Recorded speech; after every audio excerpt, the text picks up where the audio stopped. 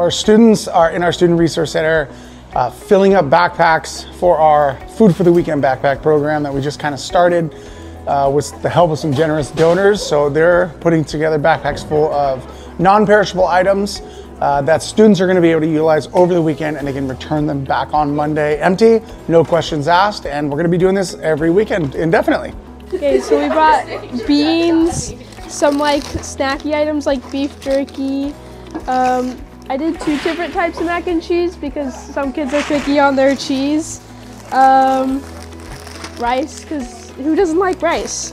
And then peanut butter, and then we have oatmeal, bunch of oatmeal packets, and I think there's jelly in here too.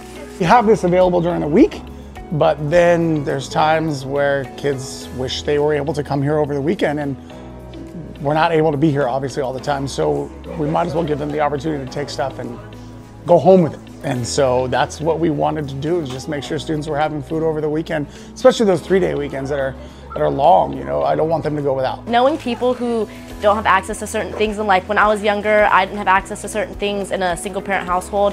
So just being able to help out with people who are like in similar situations is just, it makes me happy.